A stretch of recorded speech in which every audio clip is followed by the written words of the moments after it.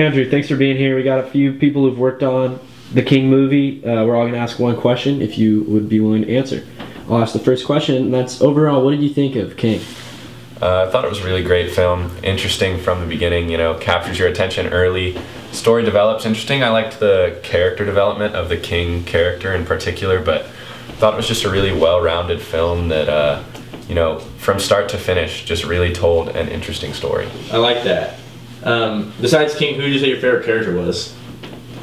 Uh, I thought that outside of King, my favorite character is probably Anon. I really liked his character because he's such an important part of the film and generally you don't get those kind of characters like that where they're playing such a key role but you don't know kind of what they're doing you don't see their perspective at all and you don't even know you know what they look like or anything like that and so i thought it was really interesting the way that he was kind of a he was a key piece of the film but he was completely up to your imagination in terms of what you wanted him to be as a character and i thought the reveal at the end uh, later in the film was very interesting because of that Beautiful. Um, this is uh, kind of coming more at it from a cinematic um, perspective.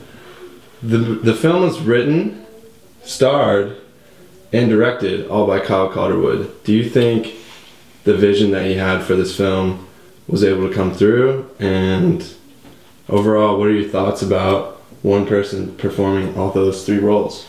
Uh, you know, I think it's really a tough challenge to take on to do all of those roles all at once because the fact that you you kind of have to take it all on you know you in in one sense you have the ability to create the vision you want for the film because you're actually playing in it but at the same time you have to be able to prevent your you know your heavy involvement in the film from kind of taking over and making everything exactly the way you want it to be because you do have other people that are playing other key parts in the movie, both in production and in the acting, that are going to have important input that you need to take on. And I think he did a good job of combining combining his vision of what he wanted the film to be, um, you know, with the great influence he has over the path that the film takes to make a product that's not just you know what he dreamed up in his head before he made the film, but also something that is kind of a combination of the input of everybody that was involved.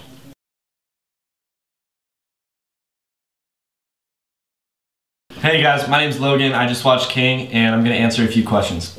All right. Um, so first question, you know, anytime you have a protagonist that is so incredibly diverse and talented, like like the example of the director himself, King, it can sometimes be difficult to see the vision for the rest of the film.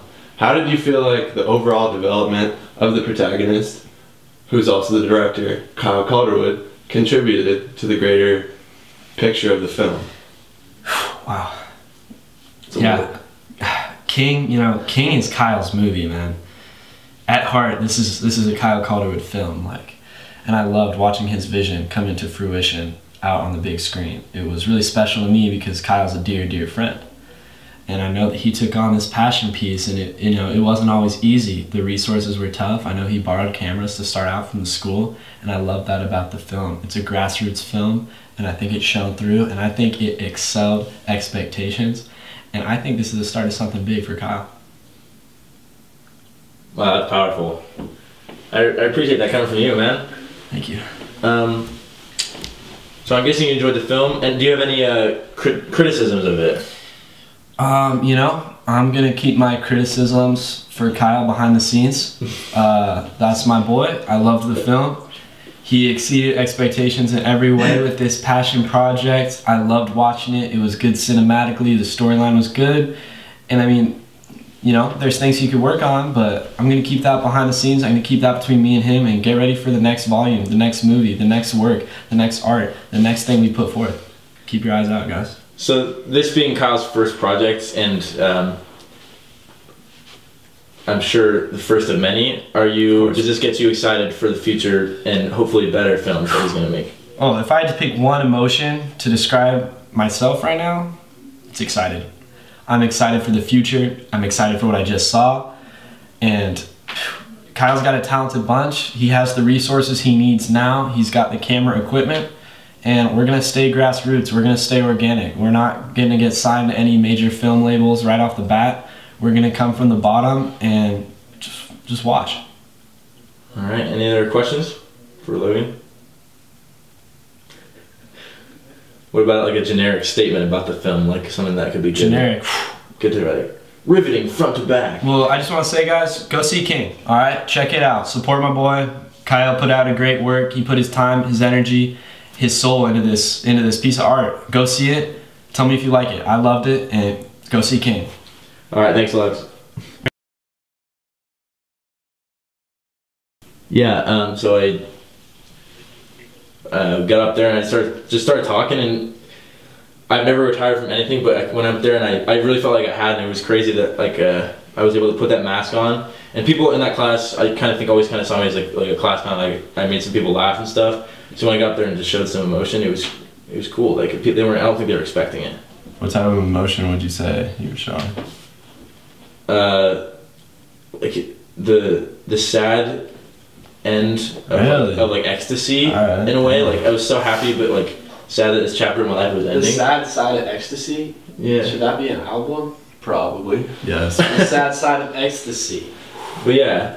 Um, Why should that be our description of the end of this film? I don't really know how it ends, but so Pat, The sad side of ecstasy. how do you feel about the end of that movie? It's like the sad side of ecstasy. The sadness and ecstasy. That's tight.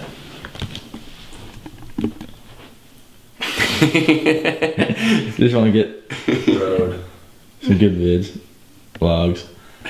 Sad side of ecstasy, you have to have the good to appreciate the bad, you know? That's right, dude. It's it's weird though because like a lot of the times it feels like the people that have appreciate that It's have the most appreciation for the good Design movies and shit.